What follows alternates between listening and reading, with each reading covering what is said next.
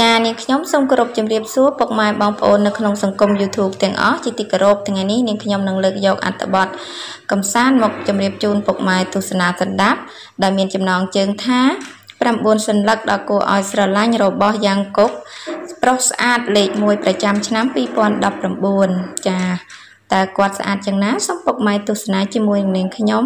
យោងតាមសារព័ត៌មានក្នុងស្រុករបស់កូរ៉េបានប្រកាសពីលទ្ធផលរបស់បេក្ខជនដែលជាប់ចំណាត់ថ្នាក់ជាប្រុសសង្ហាលេខ1ប្រចាំ2019គឺបានទៅលើយ៉ាងកុកជាសមាជិកក្រុមចម្រៀង BTS ចាមិនតែប៉ុណ្ណោះថ្មីថ្មីនេះយ៉ាងកុកក៏ជាប់ជាតារាប្រុសចំណាត់ថ្នាក់លេខ1ដែរដែលមានអ្នក ចូលចិត្តជាច្រើននៅជាងគេក្នុងប្រទេសផងដែរគួរឲ្យដឹងដែរថាយ៉ាងកុកគឺជាសមាជិកកូនពៅរបស់ក្រុម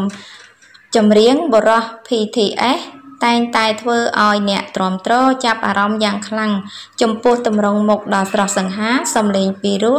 និងភាពប៉ិនប្រសប់នៃស្ទីលតុបតែងខ្លួនរបស់គាត់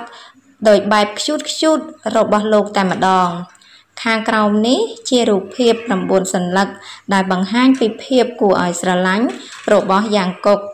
ចាពុកម៉ែបងប្អូនគាត់គួរឲ្យស្រឡាញ់ណា9សន្លឹកដែលខ្ញុំបាន ដាក់ជូនបង្ហាញពុកម៉ែបងប្អូនគឺជារូបប្រុសស្អាតតែម្ដងចា ជាចុងក្រោយនាងខ្ញុំក៏សូមអរគុណពុកម៉ែបងប្អូនតាមទស្សនាតាំងពីដើមដល់ចប់សូមចុច Subscribe Like និង Share ម្នាក់មួយផងចាសូមអរគុណសូមជម្រាបលា